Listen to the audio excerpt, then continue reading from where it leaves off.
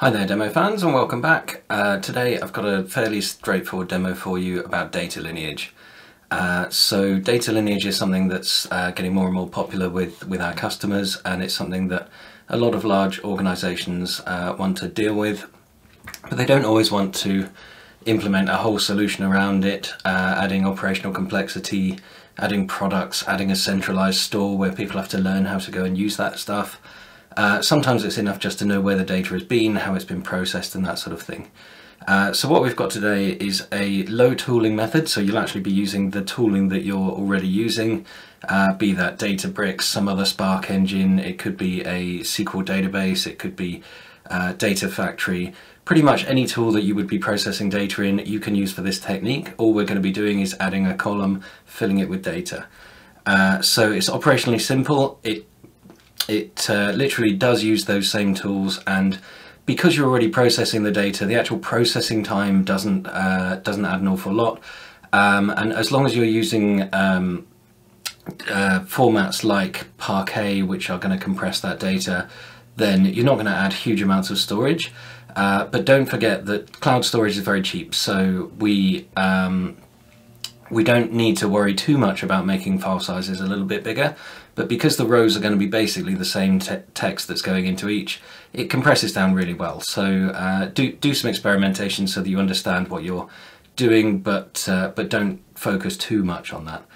Um, it's very, very cheap. As I said, it's just adding uh, a column to each of the rows. So if you're processing those rows anyway, there's not much additional uh, cost. And it's very, very easy. It's the tools you're already using. Um, so the format that I've chosen to put this uh, column in is JSON and specifically it's an array of objects in JSON. So each time you add a, a line of text to this um, column uh, in each row, you're adding another level of information and that JSON object can be a schema of your choosing. So uh, it's like a little database within your database, it's totals all the way down. You can put as much detail as you want in there. So one of the examples that I've got, um, I'll, I'll, put some up on the screen uh, for you to see that's going to be uh, information about the pipeline that's doing the processing, but you can also have an array within that array of the actual tasks that have happened. You can include snippets of code if you wanted to, if you feel that they're relevant. Um, you can use this technique in all kinds of ways and you can also use it for data quality processing. So as you're processing data quality, you could have a second column with data quality information uh, and just store that right alongside the data. Then when the end user wants to actually consume your data, all they have to do is within the tool of their choice, uh, be it Power BI or Excel or some other thing, they can actually see this JSON information, open it up and uh, find out what's happened to the data. So with that, we'll dive into the demo. Hope you enjoy it. If you do, please hit like and subscribe. It really helps the channel out a lot. And uh, thanks for watching.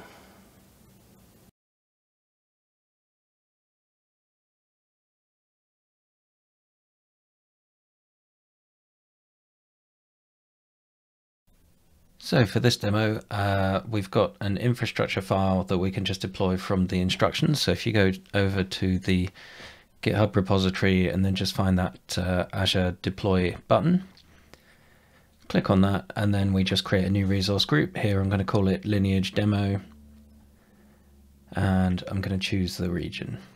Uh, in this case, I'm just going to accept the default East US. Um, for your purposes, you can choose whatever region you need. Uh, this is just going to create a storage account and a data factory. So it's quite a straightforward demo. Um, although I'm using Data Factory here, you don't have to use that. Uh, this actually does work with pretty much every tool out there. You're just creating a, a new column uh, in your data. So if you're using Databricks or if you're using some other tooling, uh, native Spark, then you know this this will work just as well. Uh, so once that's deployed, open up your uh, storage account and we're just going to create a couple of uh, containers.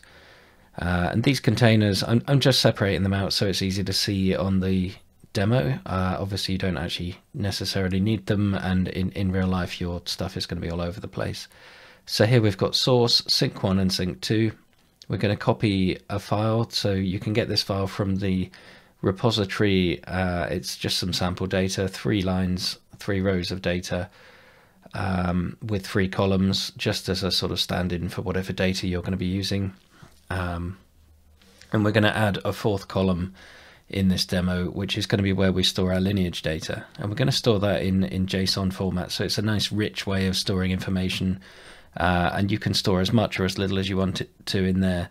Um, in terms of size, if you're using something like a Parquet, it's not going to really affect you too much because it's highly compressible because it's going to be basically the same info on each row. Uh, whereas if you store into CSV, do expect your file sizes to increase massively and the, the time taken to process might be higher. Um, so once you've uploaded that data into the source uh, container, we're going to then go into Data Factory. And the first thing we're going to do is set up a linked service. So uh, go into the manage area, click on new, set up a blob storage uh, and find your uh, storage account that, that was created. Uh, next, we're going to create the data sets. Um, so I always do it this way around because it's the way that you do it when you're scripting. Uh, but a lot of people create the pipeline and then click through from there to do this stuff. So if it looks backwards to you, it's just the way that I work. Uh, and if you see my other demos, you, you kind of see that that's consistent throughout. Um, so for the first source data set, we're going to choose the source and browse for that data.csv. We're going to take the first row as header and we're going to import that schema from the, uh, the connection. That's going to take the header row and just give us the column names. Uh, then for the next one, we're going to again choose delimited text and we're going to um, call it sink dataset one. And then we're going to select that same uh, link service. And here we're going to just select the sync one uh, container and click OK. But we're not going to import the schema because there's no files in there to get schema from at this point. Uh, later on in the demo, we're going to create a new data set and point it at the, what the output of this pipeline. But uh, for now, we don't need that. So simple copy data task, go into the source and select your source data set.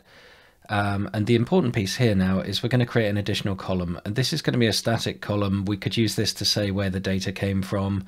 We could use this to say uh, that it was processed by this uh, pipeline. We can include the run ID in that.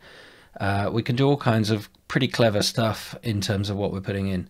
And I'm, I'm choosing a kind of pseudo JSON format at this point because it's a CSV that I'm going to write out to, so I'm not able to have new line characters. But I do want to start off by having a array of objects in JSON format so I can get that nice rich um, information stored. Uh, and and the thing that I pasted in there is available on the repository. It's it's literally just a a JSON object that describes where the data came from and, and, and that kind of a thing. So next we're going to uh, set up the sink data set. Um, you'll notice here that I forgot to put the, the file name in there, so I just added that in as data.csv in the sync1 container. Uh, then we need to publish uh, the pipeline, and the next step then once it's published is to add a trigger. Um, we're just going to trigger now um, to get the, the, the data created. So please remember this is a demo to show you the lineage. This is not a demo on how to properly use Data Factory or anything like that. Um, not that I'm doing anything wrong here, it's just making sure everything is nice and explicit for this demo. So once that's finished, we can verify that it's copied the data uh, just by clicking on the, the um, logging we can see it's written three rows and then we can go into the storage account, browse to the uh, correct container, which is source, uh, sorry, it's sync1, and then we can go into data.csv. This is the output file, and you can see we've now got a fourth column called lineage, and it's got that JSON in there that I just copied and pasted in. Um, and obviously, in, in, your scenario, you're going to choose what the uh, the attributes of that JSON object are. So we're going to go back into Data Factory now. I'm going to create a new delimited text data set. This is going to be called source dataset 2. I'm going to point it at the sync1 folder and this time I'm going to choose the uh, data.csv file that we've just written out. Then I'm going to select first row as header and import that schema.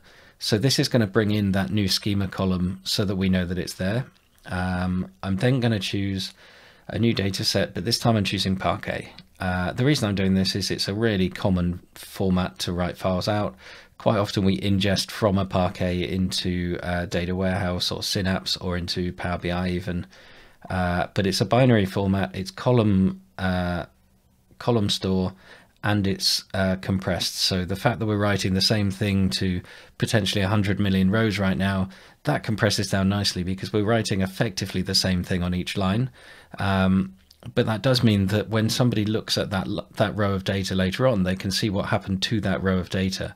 Um, so it, it's really robust way of getting your end user to be able to see this uh, lineage information rather than having it in a centralized tool that they've got to learn how to use and go and find and somebody's got to maintain that and all those sorts of things.